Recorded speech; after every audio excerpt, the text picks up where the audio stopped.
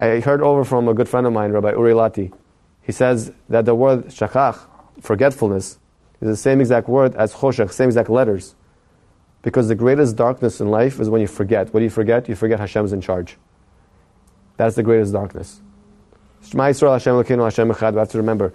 We close our eyes and we say, Shema Yisrael Hashem Elokeinu Hashem Echad. It's only one God.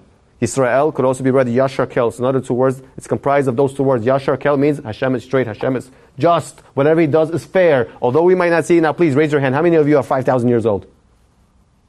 Besides you. Anybody else? No one here is 5,000 years old. Unless you've been here for the past 5,000 years, you have no clue what's going on. And therefore, we have to believe that it's only Hashem.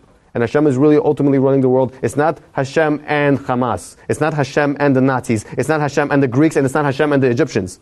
It's just Hashem, Hashem Echad. There's no one else. I close my eyes and I don't rely on anyone else. No one else could save me. No technology, no medicine, no doctor. Only Hashem could save me. I put my full reliance on you, God. I close my eyes to everything else because I know it is you I could turn to. And that's the power of the Shema. And that's our faith. That's what we hold on to.